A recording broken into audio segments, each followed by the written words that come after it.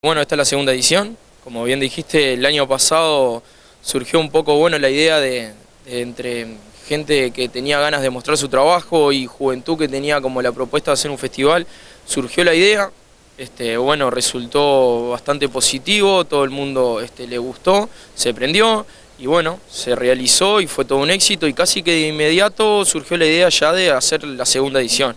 La gente, el público lo, como que lo, lo pidió y a su vez también lo los artistas este, lo disfrutaron y, volvieron como a, proponer la segunda, la segunda edición y bueno, este, una idea este, que estaba como innovadora en lo que es libertad es proponer que bueno que todo el artista que está a la vuelta que pueda mostrar su trabajo. Entonces bueno, la idea es esa y bueno, como bien dijiste este sábado a partir de las 5 y media, 6 de la tarde vamos a estar comenzando. Y bueno, ya se han inscrito también muchos puestos de venta, de artesanos y demás, que, bueno, que se unieron a la movida, ¿no? Porque aquí entre, entre la piscina y la cancha de fútbol infantil es que se arma todo el, lugar. Exacto, este, el lugar es el mismo del año pasado, es entre la, entre la cancha chica de juventud de Babi y la, y la piscina. Y bueno, este predio que, nos da juventud, nos propone juventud y bueno, como bien dijiste también se suman los, los artesanos, que hicimos como bueno un llamado a que se anotaran por un tema de, lugar, que es algo lógico, no pudimos este, aceptarlos a todos los que se inscribieron, pero bueno, pero la idea es tratar de que todos los máximos posibles puedan participar. También lo mismo pasa con los artistas, por un tema de tiempo, este, las bandas, bueno, en un momento ya como que cerramos la grilla y tratamos de que con los que ya estaban, los mismos del año pasado, más otros que se unieron, poder este, ofrecerle al público, bueno, ya te digo, de las 6 de la tarde como hasta las 12 de la noche vamos a estar con, con espectáculos. Este, bastante variado también, ¿no?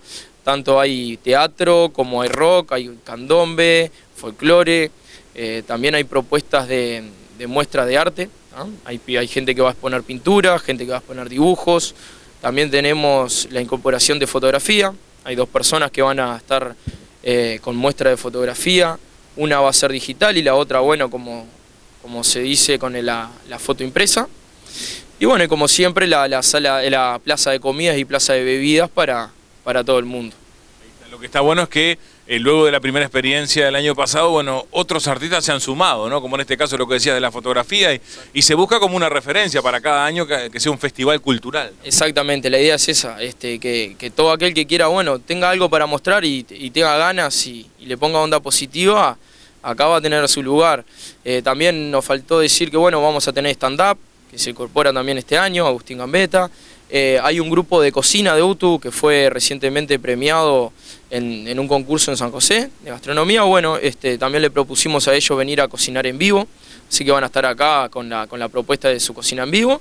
Y a eso también sumarle las instituciones. Está, ya está confirmado Cancadi que va a estar vendiendo sus productos es una de las cosas que ellas nos decían, que bueno, quieren como mostrar también su trabajo y al mismo tiempo poder venderlo. Eh, Mujeres en Libertad, está con, bueno, va a estar eh, informando y repartiendo información entre el público. También está confirmado Base, que va a estar, bueno, eh, repartiendo folletos para la gente que venga.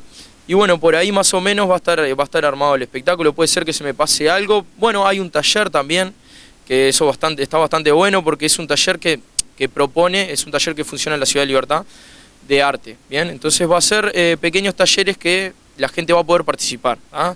Está ya confirmado un taller de barro en donde la gente, bueno, con esta persona que va a estar en su stand proponiendo, eh, proponiendo este taller, va a estar eh, la idea de que aquel que quiera participar pueda este, empezar a hacerlo.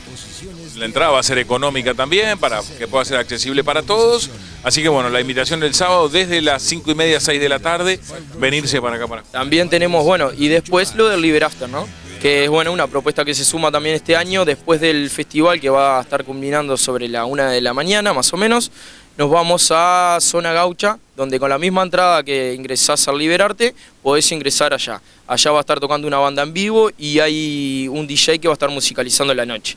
Entonces, este, bueno, ellos son, también son parte del Liberarte y bueno, está la propuesta de después seguir como en, el Zona Gaucho. Y bueno, y sí, la, entrada sale 100 pesos, la consiguen con los artistas que, participan del evento, la consiguen anticipadamente a tan solo 100 pesos. Y es abierto para todos, ¿no? Eso también hay que destacarlo. Digo, va a haber opciones para toda la familia y todas las Para toda la familia, para todas las edades. Recordar que también los menores de 12 años entran gratis.